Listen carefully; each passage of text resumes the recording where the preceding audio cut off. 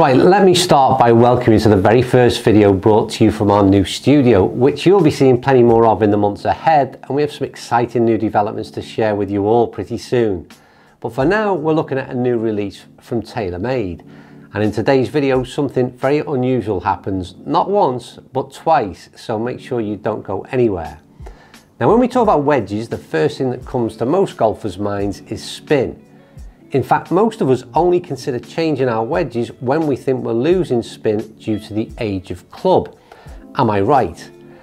Now my opinion on how much an average golfer actually benefits from that spin is, well that's debatable, but that's for another video.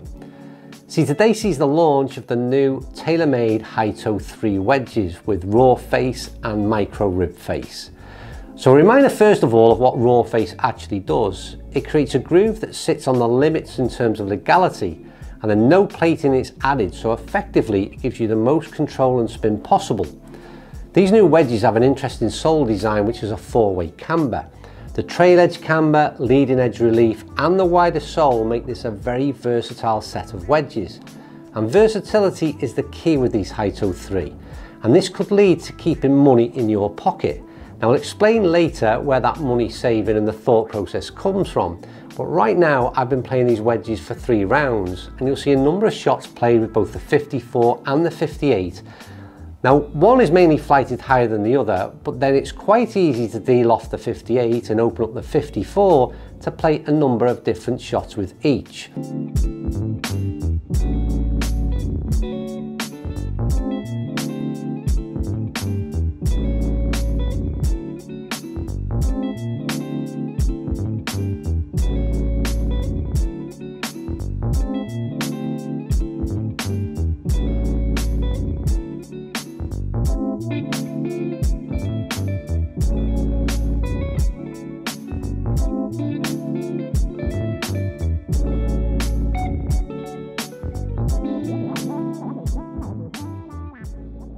And you see the four-way camber allows that versatility in the wedges and this is why I could feel you could save money by gaming these wedges.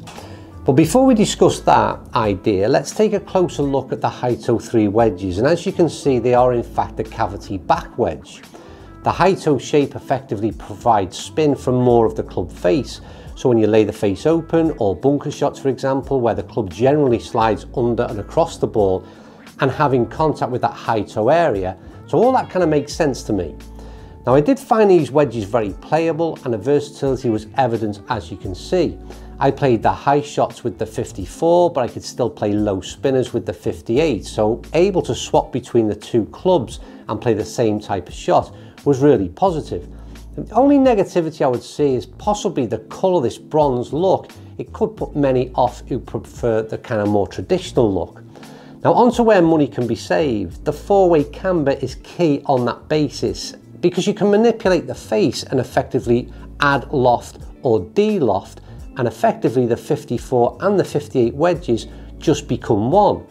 So for many of you that like to carry maybe up to three wedges, a 50, a 54 and a 58 being a typical set, in my opinion you can eliminate one of those wedges from your bag. Now this 54 degree must be my lucky wedge because I did say this happened not once but twice. Yes, I managed to chip in from off the green, something I've not done for many, many rounds. Now overall a great set of wedges from TaylorMade adding to the huge choice that you have out there right now. So let me know what your thoughts are. If you're ready for new wedges, are these on the list or is that bronze colour too off-putting? And finally, all I've got to say is thanks for watching in what has been, like I said, our very first video shot in this new studio. And I will also repeat the fact that we've got some interesting stuff to announce very soon. You'll be seeing more of this studio and another new setup that we've been working on in the last few months. And I can't wait to share this whole thing with you in a, uh, well, with a better explanation than we've been able to give you in today's video. Anyway, today's all about those Hi-Toe 3 wedges. Let me know what you think. Like, subscribe, and I'll see you all soon.